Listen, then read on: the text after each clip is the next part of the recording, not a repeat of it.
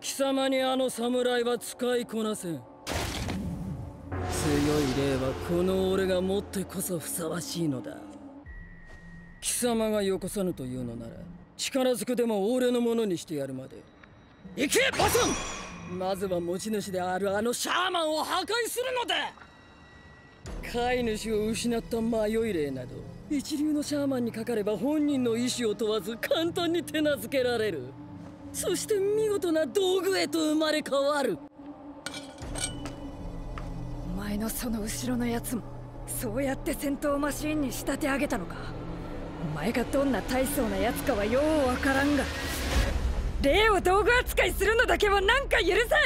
阿弥陀丸！ここで！こいつ間違ってる！同感！出てきたな侍行くぞ教育隊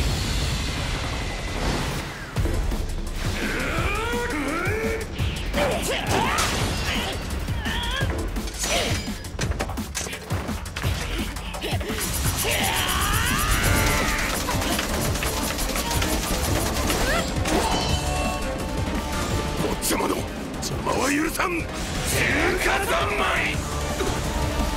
なんだ。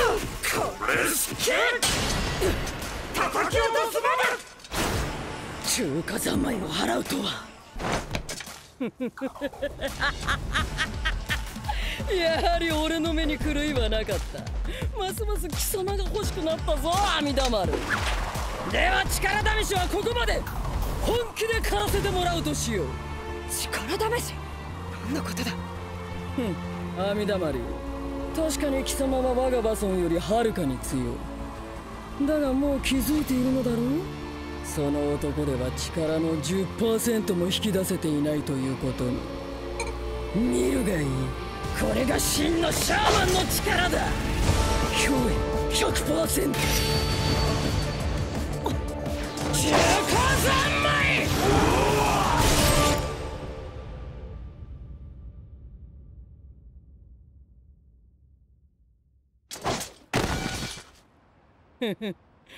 霊の力を100%この世に還元する能力。霊を道具として使いこなす非常ともいえる精神力が必要となる。貴様と俺じゃシャーマンとしての格が違う。阿弥陀丸は俺のものだ。